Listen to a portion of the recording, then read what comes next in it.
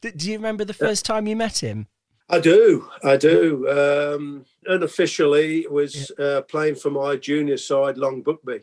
Oh yeah. And um, his first words were to me, "Get up. Uh, there's nothing wrong with you."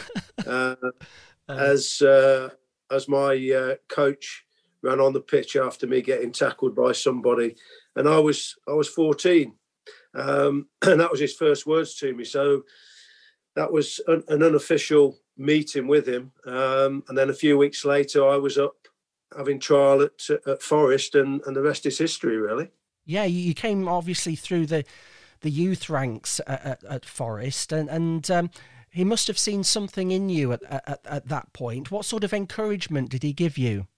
Well, that's that's an interesting interesting question. Um, it was it was it was uh, about me turning into a man at 14 uh, and that was his words to me and um, he certainly he certainly made sure that happened from from the age of 14 with me playing in the central league at that age uh, which was a tough tough league yeah. against um, quality first team players um, and just really giving me rollickings when I needed them and uh, giving me a pat on the back and telling me how good I was and how good I was going to be when I needed to be. And to be honest, it, it, was two years of growing up that was incredible for me. It was not realizing at that age that's what he was doing. Um, which then enabled me to make my debut at 16. Um, you know, being part of of the first team. I, I was training with the first team coming up in school holidays,